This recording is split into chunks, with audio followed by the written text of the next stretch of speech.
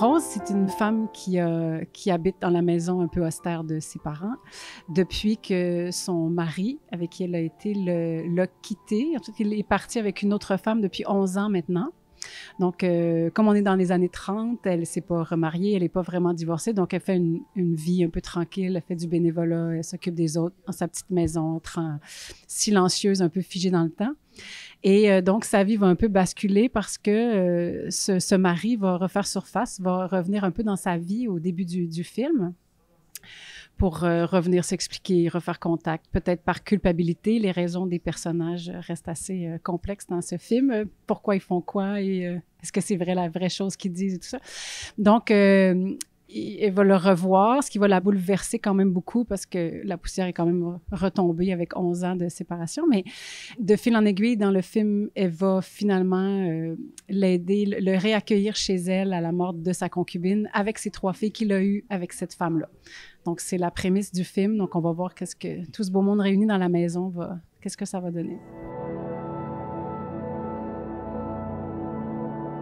C'est très agréable, très euh, bien que tu poses la question de cette façon. Donc, quelles sont les motivations de Rose?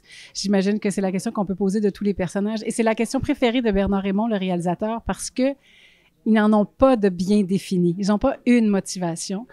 Ils sont des êtres de contradiction, de vrais êtres humains. On est rarement euh, une chose. Donc, ils veulent des choses, mais se l'avouent pas à eux-mêmes disent des choses mais pensent le contraire. Euh, donc, c'est vraiment un tissu de contradiction. C'est vraiment, pour le personnage de rôle, il y a vraiment une lutte intérieure constante durant le film euh, de ce qu'elle veut, de ce qu'elle désire, de ce qu'elle n'ose pas s'avouer. Elle a encore euh, probablement de l'amour, de l'affection, un désir pour son mari qui revient, mais en même temps, euh, elle lui en veut, donc elle veut pas aller là non plus. elle a une réelle affection pour les jeunes filles, mais est-ce qu'elle les reprend chez elle dans un but de reprendre une vie de famille ou c'est juste pour elle? Donc, c'est effectivement chaque scène, pratiquement chaque réplique, je me suis posé la question pourquoi elle fait ça? C'est quoi, c'est quoi le, sous-texte de ça, le sous-entendu? Et des fois, j'avais cinq réponses. Donc, j'en choisissais une, puis des fois, on faisait des versions où c'était le contraire. Donc, après, ça a été à, moi, j'ai suivi le chemin de mon personnage quand même. Je sais où je m'en allais, mais des fois, dépendamment des versions qu'on a tournées, ça pouvait donner un autre interprétation de la scène ou de la réplique.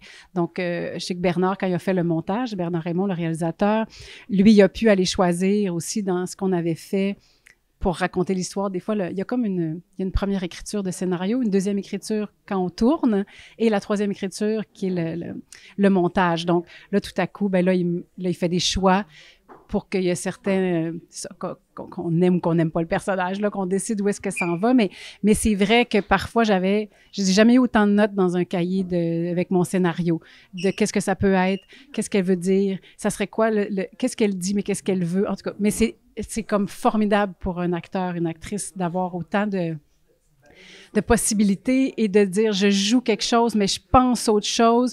Ça fait que c'est un travail vraiment euh, c'est complexe, mais c'est vraiment agréable.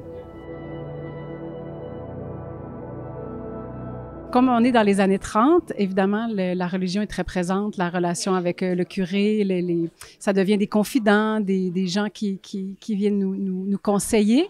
Ce que j'aime dans ce film, c'est qu'on sent que le curé, dans l'histoire, euh, lui dit pas quoi faire à Rose. Il la conseille, il l'écoute, mais plus comme quelqu'un qui veille sur elle parce que c'est un ami de la famille depuis qu'il la connaît depuis qu'elle est tout petite, plus que par le, sa soutane, par exemple, par son pouvoir, son poste à l'Église.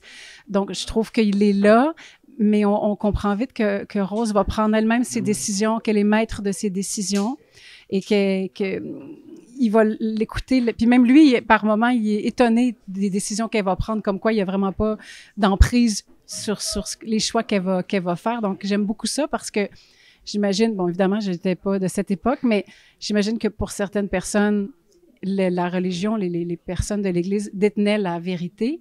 Mais dans ce cas-ci, j'aime que mon personnage, ça soit comme une bonne écoute, comme un ami, comme quelqu'un de qui a la confiance, mais c'est pas c'est un guide, mais c'est pas lui qui lui fait prendre les décisions, c'est elle seule. Puis ça, je trouve, c'est un peu contemporain, donc j'aimais bien ce, ce, contraste que, le, réalisateur a donné dans l'histoire, que c'est comme on voit souvent dans ces films d'époque là, ben on voit souvent, j'en ai pas vu tant là, mais la religion qui a mise puis qui décide.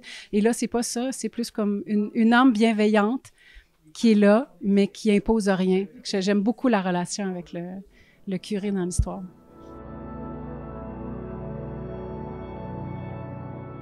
La première matière, euh, c'est, mettons, à l'audition. Là, j'ai accès au scénario ou à quelques scènes. Donc là, on a une première lecture, une première... Euh, puis là, on le lit avec nos yeux, notre interprétation de chacun, notre personnalité. Donc, il y a plusieurs personnes qui ont auditionné ce rôle-là. Ça devait être totalement différent, j'imagine, même si c'était les mêmes mots. C'est un peu ça qui est toujours étonnant. Donc, moi, je l'ai vu d'une façon, j'ai eu envie de l'interpréter d'une façon. Et là, en audition, ben là, on travaille avec le réalisateur. Et là, après, ben j'ai, donc c'est comme une première euh, approche, une première étape. Après ça, j'ai lu la nouvelle de Pirandello. Donc là aussi, j'ai eu comme plein d'informations. Évidemment, c'est une adaptation, donc c'est pas mot à mot, c'est pas ça, mais ça donnait beaucoup. Euh, on dirait que ça m'a nourri pour le personnage, mais beaucoup pour l'atmosphère aussi, pour le parce que c'est plus des descriptions, c'est moins des dialogues. Donc je trouvais que ça, ça aidait à créer l'univers pour moi, euh, un peu l'époque et un peu comme le rythme du récit, en fait, parce que le rythme se ressemble quand même. Puis là, après, ben là, c'est les répétitions. Donc là, on met ensemble qu'est-ce qu'on a pensé du personnage. Donc moi, j'amène quelque chose, le réalisateur et les autres acteurs aussi arrivent avec une proposition. Et là, on regarde comment on peut euh, mettre tout ça ensemble. Donc, euh, il y a des décisions que j'ai prises qui n'étaient pas les bonnes, on a changé, mais là, on, on peaufine, on rajoute, c'est comme chacun ce qu'on a à apporter au personnage. Moi, j'aime beaucoup aussi écouter de la musique. Je nourris mon personnage de Autant j'ai dit euh, tout à l'heure que j'ai jamais eu autant de notes dans un texte, j'ai jamais eu autant d'une bande sonore aussi précise de genre telle scène, ça va être telle chanson, telle scène. Je me suis vraiment euh, investie là, c'est un rôle qui, qui me plaisait puis qui j'avais envie de travailler fort, fait que j'ai aussi euh, euh, travaillé même ma propre trame sonore. Puis après ça, ben c'est ça. Donc c'est de l'instinct, du travail, mais c'est aussi beaucoup d'écoute, beaucoup de. Moi j'aime beaucoup la direction d'acteur. J'aime ça quand on me dirige. J'aime ça ajouter à chaque prise quelque chose. J'aime, j'aime, tu sais, j'aime ça. Sinon, je, me regarderais jouer. Puis c'est, c'est pas ça. Donc, euh, puis, puis c'est un directeur. Je le pointe, mais vous le voyez pas, il est là. Mais c'est un directeur d'acteur vraiment incroyable, euh, Monsieur Aymon. Euh, le jeu l'intéresse dans ses moindres nuances. Donc, pour un acteur, c'est vraiment agréable parce qu'on sait qu'il voit tout ce qu'on fait. Il voit si j'ai changé mon regard, il voit si j'ai changer quelque chose dans mon jeu, même légèrement. Donc, on a envie d'aller loin, de continuer à travailler. Donc, euh, fait que je dis que c'est plein d'étapes. C'est la première lecture, la première rencontre. Après ça, le travail de répétition. Après ça, l'ajout des costumes, l'ajout de l'univers. Donc, c'est comme plein de petites couches qui, s'ajoutent au fur et à mesure. Ça dépend vraiment des projets, mais dans ce cas-ci, c'était une matière première. Je l'avais tous les jours avec moi. J'y revenais tous les jours à chaque scène. En plus, comme je vous ai dit, j'avais tellement pris de notes dans le texte où, rappelle-toi, à ce moment-là, quand elle parle de ça, il est arrivé ça.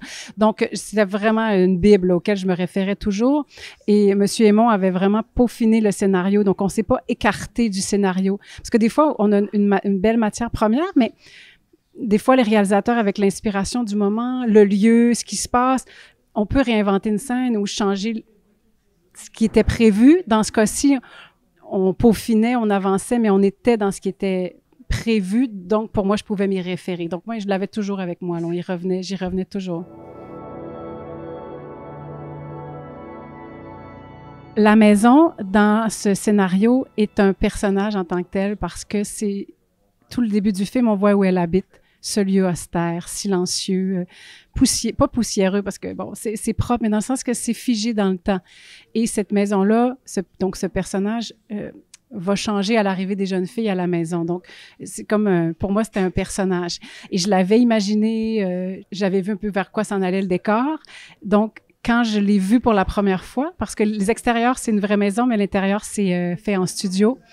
C'était comme je l'avais euh, imaginé mille fois mieux. On dirait que j'avais juste à m'asseoir dans le décor pour être là. C'était vraiment facile de, de, de, me dire que c'était chez moi, mettons. Puis j'ai une petite anecdote, comme ça peut-être on pourra finir avec ça. J'avais imaginé, euh, le jour où je suis rentrée dans la chambre de mon personnage, j'étais avec la créatrice des décors et je suis rentrée dans la chambre de Rose, puis je suis partie à pleurer. J'ai des frissons maintenant que je vous le raconte, parce qu'elle avait tout compris avait compris comme moi. C'est comme si je suis vraiment rentrée, puis c'est comme si je connaissais le lieu. C'était, tu sais, ça correspondait exactement à ce que j'avais envie. Je me suis sentie comme, fait que pour répondre un peu à ta question, c'est comme si j'ai pu me glisser dans le lieu, le personnage, tout comme comme on dit, tout c'est accordé parfaitement comme euh, comme de la musique. Donc la, la, fille des, décors a été super aimée. Elle dit ben c'est le plus beau compliment qu'on pouvait me faire que j'ai été si touchée en rentrant dans la pièce que c'était vraiment un beau moment.